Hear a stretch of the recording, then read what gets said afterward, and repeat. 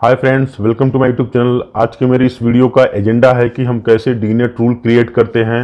मैं वर्जन 18 में गाइज़ ये वीडियो लेके आया हूँ आप यहाँ पे देख सकते हैं SOF वर्जन 18 0.5 एम है। तो इसमें मैं आपको ये बताने वाला हूँ कि कैसे हम आ, डीनेट रूल क्रिएट करते हैं कस्टम पोर्ट फॉर्डिंग करते हैं रिमोट डेस्कटॉप पोर्ट फॉर्डिंग करते हैं, उसको कैसे करते हैं, मैं प्रॉपर बताने वाला क्योंकि बहुत सारे यूट्यूब बहुत सारे गाइस बहुत सारे लोगों को कमेंट्स आया था कि इस टॉपिक पे आप वीडियो बनाइए। तो मैंने एक छोटा सा सीनारियो बनाया जिसमें आपको मैं प्रॉपर अंडरस्टैंडिंग कर पाऊँ कि मैं क्या करने वाला हूँ। तो गाइज़ यहाँ पे मैं एक मेरा पास ड्रॉइंग है। आप यहाँ पे मैं बता दूँ कि ये हमारा वैन है इंटरनेट है, इस इंटरनेट से यहाँ पे फायरवॉल कनेक्टेड है। फायरवॉल से यहाँ पे एक स्विच कनेक्टेड है। स्विच से हमारा एक डेटाबेस सर्वर कनेक्टेड है और इस नेटवर्क में लाइन कनेक्टेड है। तो जो हमारा लाइन है, ये हमारे लोकल यूज़र्स हैं और ये हमारे डेटाबेस सर्वर जो डीएमजेड पे है। और ये हमारा फायरवॉल जो है, यहाँ इंटरनेट से कनेक्टेड है और एक बाहर रिमोट साइड में कोई दुबई या कोई अलग कंट्री में यूज़र है, जिसको ये सर्वर डेटाबेस सर्वर एक्सेस करना है बिना लोकल नेटवर्क में। तो इसको कैसे करेंगे, ये मैं आपको इस बार बताने वाला हूँ। तो यहाँ पे जो हम कॉन्फ़िगरेशन करेंगे, ये जो लैपटॉप यूज़र है डायरेक्टली डेटाबेस सर्वर को एक्सेस करेगा। पोर्ट फॉर्डिंग के थ्रू वो पोर्ट फॉर्डिंग हम कैसे करेंगे, हम इस फायरवॉल में पोर्ट फॉर्डिंग करेंगे। इसी फायरवॉल जैसे पोर्ट फॉर्डिंग इनेबल करेंगे, जो कॉन्फ़िगरेशन हम करेंगे, वो कॉन्फ़िगरेशन के थ्रू ऑटोमेटिकली यहाँ पे डेटाबेस पे रीच होगा। तो चलिए शुरू करते इस ट्यूटोरियल वीडियो को। तो गाइड इससे पहले मैं बता दूँ आपको, यहाँ पे हमको अपने फायरवॉल पे आना है।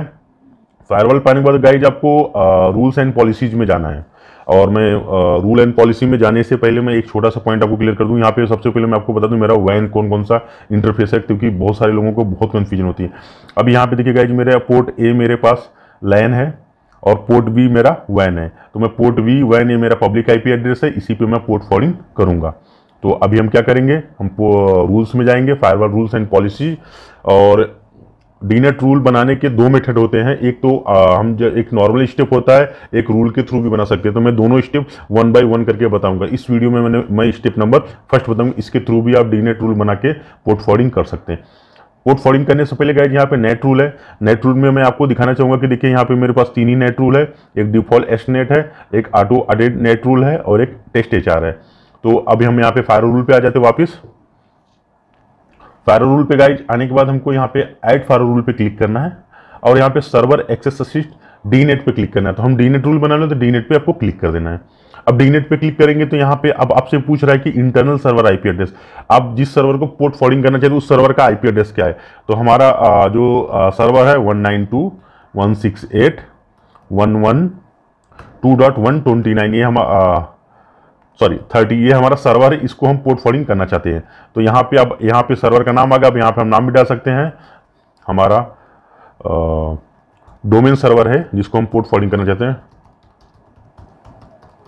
यहाँ पे अपने सर्वर का हमने नाम दे दिया, यहाँ पे लोग सर्वर का लोकल आईपी सर्वर का नाम, यहाँ पे हमने आइडेंटिटी ले दिया और इसको कर देना हमको नेक्स्ट नेक्स्ट करने के बाद गाइज़ जब यहाँ सबसे पूछ रहे कि पब्लिक आईपी एड्रेस तो सिलेक्ट पब्लिक आईपी एड्रेस और वैन इंटरफेस तो यहाँ पे जाएँगे तो हमारे पास जो वैन इंटरफेस है गाइज़ है यहाँ पे हमारा पोर्ट बी है जो मैंने आपको लास्ट वीडियो में भी इसी वीडियो में बताया था. तो पोर्ट बी पे हमने तीन आईपी एड्रेस अलाइज किए हुए तो हमने पोर्ट बी को सिलेक्ट कर लिया. पोर्ट बी सिलेक्ट करने के बाद हमको बढ़ जाना है नेक्स्ट नेक्स्ट करना, अब यहाँ से पूछ रहा है कि सर्विसेज़ आप इस सर्वर पे कौन सी सर्विस इनेबल करना चाहते हैं? तो हम यहाँ पे आरडीपी इनेबल करना चाहते हैं। तो आप यहाँ पे आप यहाँ पे आ, अलग से क्रिएट भी कर सकते हैं कि अभी यहाँ पे गाइज़ आरडीपी का ऑप्शन नहीं दे रहा है। तो हम यहाँ पे कस्टम अभी यहाँ पे क्रिएट नहीं कर सकते हैं। तो हम यहाँ पे टेस्ट क्लिक कर लेते हैं फिर वापस हम एडिट करके आपको दिखा देंगे। या हम पहले इसको कैंसिल कर लेते हैं। पहले हम पोर्ट कैसे क्रिएट करते हैं सर्विस कैसे क्रिएट करते हैं पहले मैं वो आपको बता दूँ।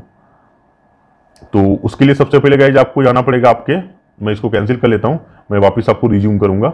उसके पहले सबसे पहले गाइज़ हमको जाना पड़ता है होस्ट में।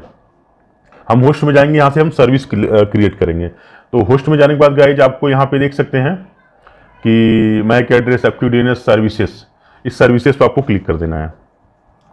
तो सर्विसेज़ में क्लिक करने के बाद गाइज़ यहाँ पे ऐड सर्विस आपको क्लिक करना है। ऐड सर्विस जाने पर आर डी पी यहाँ पर हम डालते हैं आर डी पी और सर्विस का नाम है थ्री थ्री एट नाइन ये हमारा आरडीपी का पोर्ट होता है। इसको हमने क्रिएट कर दिया आरडीपी नाम से।